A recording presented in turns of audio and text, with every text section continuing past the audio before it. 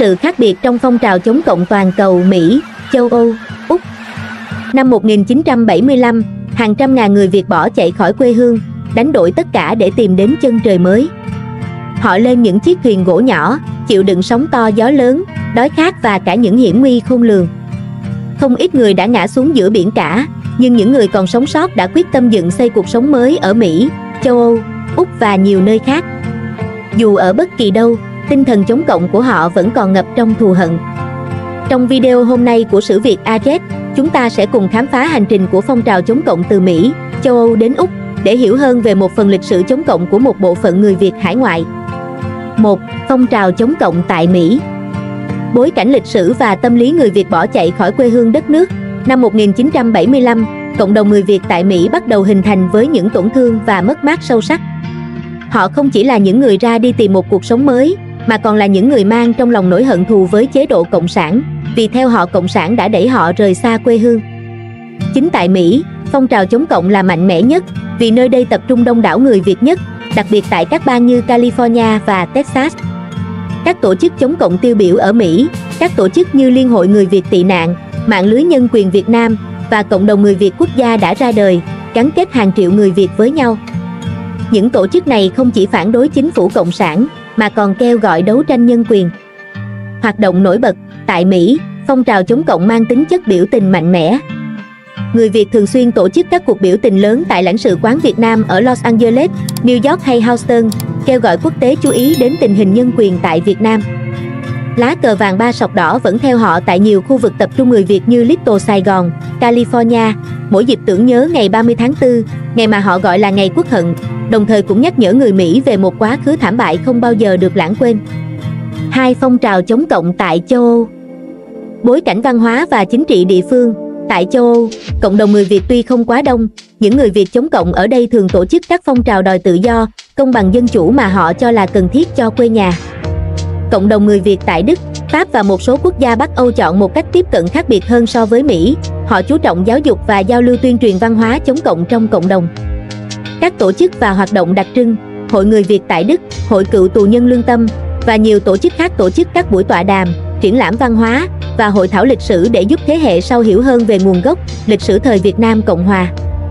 Người Việt tại Pháp còn xây dựng các tượng đài, nơi tưởng nhớ những người đã ngã xuống vì lý tưởng tự do, dân chủ kiểu phương Tây. Những hoạt động chống cộng nổi bật ở châu Âu Phong trào chống cộng tại châu Âu thường thể hiện qua các sự kiện văn hóa, nghệ thuật và trưng bày lịch sử. Những triển lãm về chiến tranh Việt Nam, về di sản văn hóa và tinh thần ảo của người Việt Nam Cộng Hòa, thu hút sự quan tâm của cả người dân bản địa, qua đó kêu gọi cộng đồng quốc tế ủng hộ công cuộc chống cộng của họ. 3. Phong trào chống cộng tại Úc Tình hình cộng đồng và phong trào chính trị Tại Úc, dù cộng đồng người Việt ít hơn so với Mỹ và châu Âu, nhưng hoạt động chống cộng ở Úc cũng rất sôi nổi. Sydney và Melbourne là những nơi tập trung nhiều người Việt nhất và cũng là những nơi phong trào chống cộng mạnh mẽ nhất. Tổ chức chống cộng tại Úc những tổ chức như Liên hội Người Việt tại Úc và các hội cựu chiến binh là những tổ chức có sức ảnh hưởng lớn. Tại đây, các hoạt động chống cộng gắn liền với những ngày lễ tưởng niệm ngày 30 tháng 4, ngày mà người Việt Nam Cộng hòa tại Úc coi là ngày đau thương nhất. Hoạt động nổi bật, người Việt tại Úc đã tổ chức nhiều cuộc biểu tình phản đối khi có các quan chức Việt Nam đến thăm Úc để thể hiện lập trường rõ ràng. Mỗi dịp tưởng nhớ ngày 30 tháng 4, ngày quốc hận của họ, cộng đồng người Việt tại Melbourne và Sydney lại diễu hành với cờ vàng thất bại, như một lời nhắc nhở về quê hương và nỗi đau xa xứ. 4. Sự khác biệt trong phong trào chống cộng qua các khu vực Mỹ, ở Mỹ, phong trào chống cộng mang tinh thần mạnh mẽ, quyết liệt.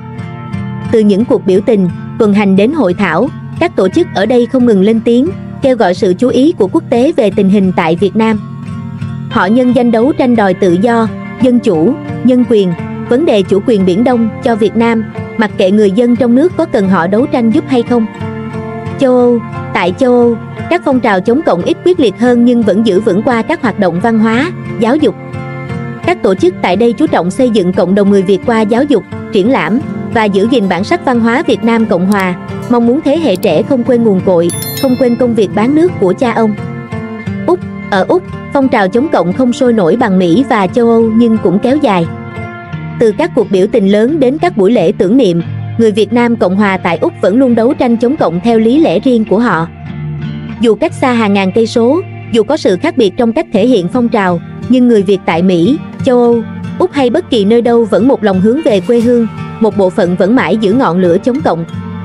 Ngày nay phong trào có xu hướng giảm gay gắt và chú trọng vào diễn biến hòa bình, tiến hành cách mạng màu để cộng sản tự đổ từ bên trong. Các bạn thân mến! Nếu thớ video phân tích đúng đắn thì hãy cho tác giả Minh Tiến một like yêu thích video, hãy chia sẻ video đến nhiều người hơn để cùng nhau bày tỏ quan điểm về vấn đề này. Các bạn đang theo dõi kênh Sử Việt Ares, đừng quên nhấn đăng ký và bật chuông thông báo để không bỏ lỡ những câu chuyện lịch sử đầy cảm xúc và ý nghĩa. Chúng tôi mong muốn mang đến cho các bạn những câu chuyện chân thực về tinh thần kiên cường của người Việt. Nếu bạn có câu chuyện nào muốn chia sẻ, đừng ngần ngại để lại dưới bình luận, vì Sử Việt Ares luôn lắng nghe bạn.